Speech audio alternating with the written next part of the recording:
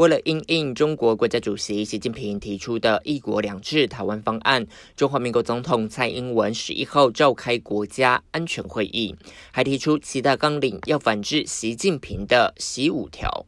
蔡英文在会议中强调，他所领导的政府致力发展两岸和平稳定，并且支持两岸正常交流。不过，他们坚决反对一国两制，也拒绝任何被统一的过渡性安排。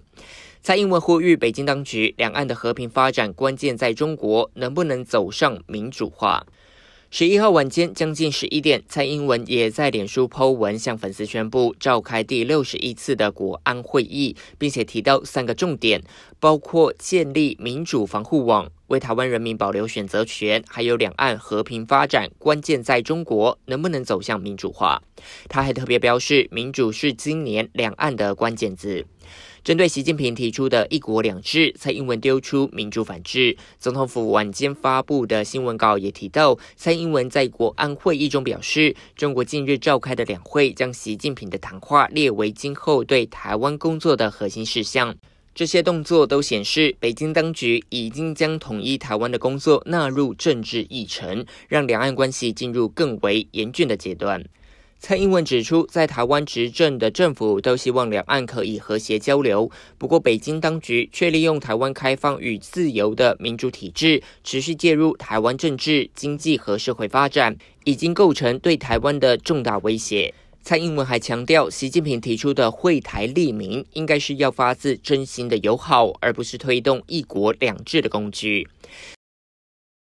蔡英文召开国安会议，提出七项纲领，要回应习近平的一国两制。只不过，由于台湾进入二零二零总统大选的准备期，这个时候召开国安会议，也让外界怀疑这场国安会议背后盘算的，除了应应中国威胁，也在号召国内民众的支持。